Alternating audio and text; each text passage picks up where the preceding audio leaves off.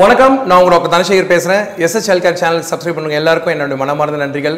வாசகர்களோட subscription அதிகமாக போயிட்டு இருக்க இந்த நேரத்தில். முக்கியமான சில விஷயங்கள் நம்ம கூர்ந்து கவனிச்சுட்டு இருக்கோம். நிறைய கேள்விகள் கேட்டுட்ருக்கீங்க ஆனால் அந்த கேள்விகள் மறுபடியும் மறுபடியும் அதே கேள்வியில் தான் இருக்குது ஆனால் சில விஷயங்கள் நான் பார்க்குறப்போ நம்ம பெற்றோர்கள்கிட்ட தெளிவில்லாத ஒரு முக்கியமான ஒரு விஷயம் என்னென்னு பார்த்தீங்கன்னா உணவு ஒவ்வாமை அப்படின்னு சொல்லக்கூடிய ஃபுட் அலர்ஜிஸ் இந்த ஃபுட் அலர்ஜி அப்படின்ற ஒரு விஷயம் இன்னைக்கு ஏன் இவ்வளோ பேசிகிட்டு இருக்கோம் அப்படின்னு கேட்டிங்கன்னா நான்லாம் மருத்துவக் கல்லூரியில் படிக்கிற சமயத்தில் பார்த்தீங்கன்னா இந்த ஃபுட் அலர்ஜின்னு சொல்லக்கூடிய உணவு ஒவ்வாமை ரொம்ப ரொம்ப குறைவாக இருந்துச்சு. உணவு ஒவ்வாமை மிக ஆச்சரியமாக பார்த்தோம். இந்த மாதிரி நம்ம சாதாரணமாக சாப்பிடக்கூடிய உணவுகள் ஒத்துப்போகாமல் இருக்க முடியுமா குழந்தைங்களுக்கு அப்படின்ற ஒரு பெரிய கேள்விக்குறியோடு தான் முதல்ல நான் ஆரம்பித்தேன் ஆனால் கடந்த பத்து வருஷத்தில் இந்த உணவு ஒவ்வாமை விஷயம் பெருசாக போயிட்டுருக்கு. ஏன் பெருசாக போயிட்டுருக்கு அப்படின்னு கேட்டிங்கன்னா நம்மளுடைய சுற்றுப்புற சூழல்கள் மற்றும் பல சமுதாய மாற்றங்கள்னால இந்த உணவு ஒவ்வாமை வந்துகிட்டே இருக்குது உணவு ஒவ்வாமை எதனால் வருது? எந்தெந்த உணவுகளில் பிரச்சனை வரும் அப்படின்னு பார்த்தீங்கன்னா அஞ்சு உணவுகள். மொதல் விஷயம் பால் ரெண்டாவது விஷயம் வீட் அப்படின்னு சொல்லக்கூடிய கோதுமை மூணாவது விஷயம் ஃபிஷ் மீன் நாலாவது விஷயம் சோயா மற்றும் அஞ்சாவது விஷயம் முட்டை. இந்த உணவு ஒவ்வாமை வந்து நீங்கள் பேச போகிறோம் அலர்ஜி அப்படின்னு சொல்லக்கூடிய ஆங்கில வார்த்தை தான் தமிழில் ஒவ்வாமைன்னு சொல்கிறோம் உங்களுக்கு அலர்ஜின்னு சொன்னாலும் சரி ஒவ்வாமைன்னு சொன்னாலும் சரி ரெண்டுத்துக்கும் ஒரே அர்த்தம் தான். ஏன் இது ஒரு பிரச்சனையாக இருக்குது நான் ஏற்கனவே பல எபிசோடில் பேசியிருக்கேன். மாட்டுப்பால் மாடுகளுக்கு மட்டும்தான். தாய்ப்பால் மட்டுமே குழந்தைகளுக்கு உகந்தது. உலக சுகாதார நிறுவனம் ரொம்ப தெளிவாக ரெண்டு வயசு வரைக்கும் தாய்ப்பால் கொடுங்கன்னு சொல்லியிருக்காங்க. மாட்டுப்பாலை உணவில் அறிமுகப்படுத்தக்கூடிய வயசு அப்படின்னு பார்த்தீங்கன்னா பொதுவாகவே ஒரு வயதுக்கு மேலே கொடுக்கறது மிக நல்லது. ஆனால் இந்த விஷயத்தை பொறுத்த வரைக்கும் உலகம் பூரா பார்த்தீங்க அப்படின்னா ஒரு பொதுவான ஒரு கருத்து மருத்துவர்களிடையே கிடையாது அப்படின்றது தான் உண்மை. ஏன்னு கேட்டிங்கன்னா நான் ஐரோப்பாவில் வேலை செய்கிற சமயத்தில் அங்கே மாட்டுப்பாலை வந்து குழந்தைங்களுக்கு ஆறு மாதத்துலேயே கொடுக்க ஆரம்பிப்பாங்க. உணவுகளில் கலந்து கொடுப்பாங்க மாட்டுப்பாலை மட்டும் கொடுக்க மாட்டாங்க. ஆனால் நீங்கள் சில தாய்மார்கள் சில விஷயங்கள்னால சில காரணங்களால் உங்களை தாய்ப்பால் கொடுக்க முடியல பவுடர் பால் கொடுக்குறீங்க அப்படின்னா இல்லை தாய்ப்பால் போதுமானதாக இல்லை அப்படின்னு மருத்துவர் பவுடர் பால் கொடுக்க சொல்லியிருந்தாருன்னா ஒரு முக்கியமான விஷயம் நீங்கள் எல்லாருமே மறந்துடுறீங்க. அது என்னென்னு கேட்டிங்கன்னா பவுடர் பாலுமே கூட மாட்டுப்பால்லேருந்து பண்ணுறாங்கன்றது உண்மை. உங்களுக்கு சந்தேகமாக இருந்துச்சுன்னா உங்கள் வீட்டில் இருக்க பால் பவுடர் டப்பாவை எடுத்து பாருங்கள் அதுக்கு பின்னாடி போட்டிருப்பாங்க கவுஸ் ஸ்கிம்டு மில்க் பவுடர் அப்படின்னு. ஸோ இந்த மாட்டுப்பால் உணவில் வந்து ஆரம்ப காலத்தில் அறிமுகப்படுத்துறதுனால குழந்தைங்களுக்கு சில பிரச்சனைகள் வரலாம். இது மட்டுமல்லாமல் தாய்ப்பால் மட்டுமே குடிச்சிட்டு இருக்க சில குழந்தைகள் கூட இந்த மாட்டுப்பால் அலர்ஜி வரலாம். ஏன் இந்த மாட்டுப்பால் ஒவ்வாமை தாய்ப்பால் குடிக்கிற குழந்தைங்களுக்கு வருது அப்படின்னு பார்த்தீங்கன்னா பால் குடிக்கக்கூடிய தாய்மார்கள் பசும்பாலில் இருக்கக்கூடிய இந்த புரத சத்து இது பேர் கவுஸ் மில்க் புரோட்டீன்னு சொல்லுவாங்க. நீங்கள் இதை அருந்தும் போது தாய்ப்பாலில் அந்த கவுஸ் மில்க் புரோட்டீன் வெளிப்பட துவங்குது. இந்த கவுஸ் மில்க் புரோட்டீன் குழந்தைக்கு சேரலை அப்படின்றப்போ கவுஸ் மில்க் புரோட்டீன் அலர்ஜி வரக்கூடிய சாத்தியக்கூறுகள் மற்றும் வாய்ப்புகள் மிக அதிகமாக உண்டு. கவுஸ் மில்க் அலர்ஜி அப்படின்றது மூன்று வகையாக பிரிக்கலாம். மைல்டுன்னு சொல்லலாம் மாட்ரேட்னு சொல்லலாம் சிவியர்னு சொல்லலாம். இந்த ஒவ்வாமைக்கான அறிகுறிகள் என்ன? பொதுவாகவே பார்த்தீங்கன்னா மைல்டு அலர்ஜியாக இருந்தால் அதற்குண்டான பரிணாம மாற்றங்கள் மிக மிக குறைவு. ஒரு சிலருக்கு மோஷன் போகிற இடத்துல ஒரு சிவப்பான ஒரு ஒரு அறிகுறியோ இல்லை அரிப்போ இல்லை ஒரு தேய்ச்சி விட்ட மாதிரி இதுக்கு பேர் டெர்மடைட்டிஸ்ன்னு சொல்லுவாங்க. இந்த மாதிரி அறிகுறியே வரலாம். மாட்ரேட் மற்றும் சிவியர் அப்படின்ற அறிகுறிகள் இருக்கக்கூடிய குழந்தைகளுக்கு பார்த்தீங்கன்னா தோலில் தடிமனாக வரலாம் அரிப்பு வரலாம் தும்மல் வரலாம் சுவாச பிரச்சனைகள் வரலாம் மோஷன் லூஸாக போகலாம். இந்த மாதிரி பல பிரச்சனைகளோட பல விதமான பரிமுகங்களோட இந்த நோய் வரக்கூடிய வாய்ப்புகள் உண்டு. அதனால் மாட்டு பல ஒரு வயசுக்கு அப்புறமா கொடுக்கறது நல்லது. நான் ரெண்டாவது சொன்ன விஷயங்களில் பார்த்தீங்கன்னா கோதுமைன்னு சொல்லக்கூடிய வீட். இப்போ வீட் அலர்ஜி அப்படின்றது கொஞ்சம் ரேர் தாங்க. தமிழ்நாட்டை பொறுத்த வரைக்கும் அலர்ஜிகள் சதவீதத்தில் சென்னையில் நாங்கள் பண்ண ஆராய்ச்சியில் கண்டுபிடிச்ச முக்கியமான விஷயம் உணவு ஒவ்வாமையில் முதல்ல மேலோங்கி நிற்கிற விஷயம் பசும்பால் மட்டும்தான்.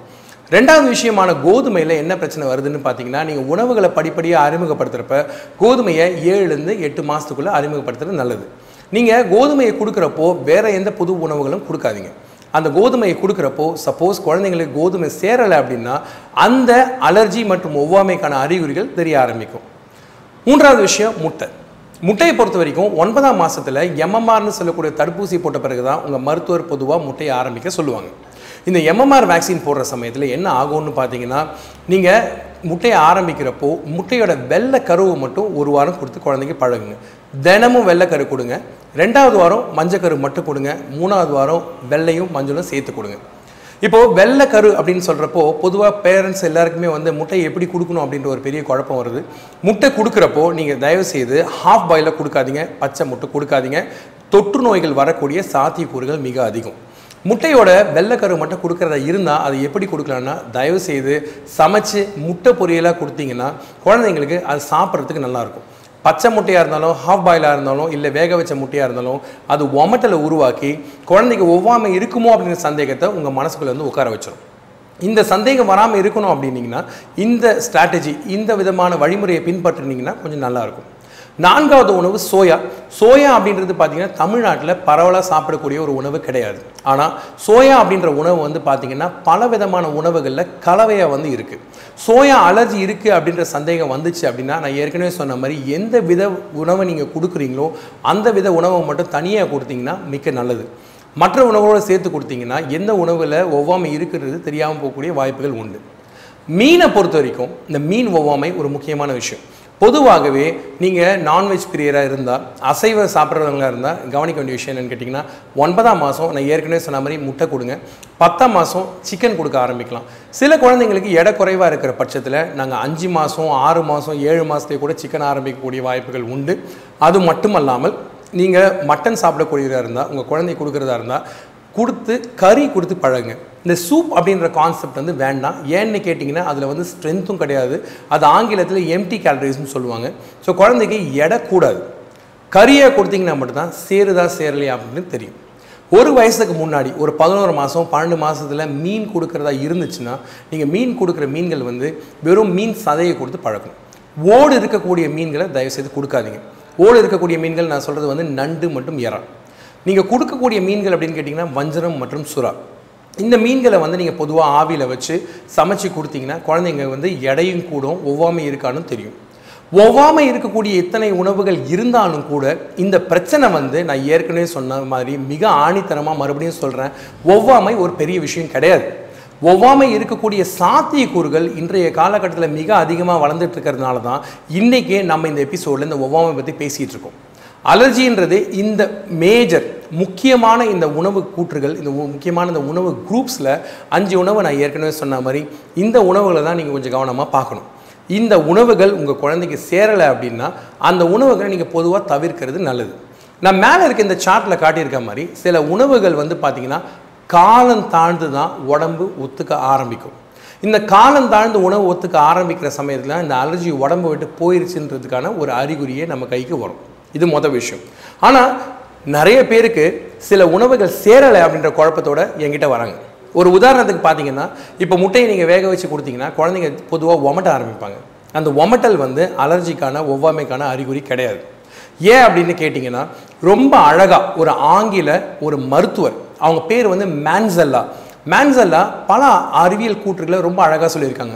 ஒரு இருபதாயிரம் குழந்தைங்களுக்கு ஒரு சில உணவுகளை கொடுக்குறப்போ அந்த உணவுகளை குழந்தைங்க விரும்பி சாப்பிட்றதில்ல அப்படின்றத முதல்ல கண்டுபிடிச்சாங்க.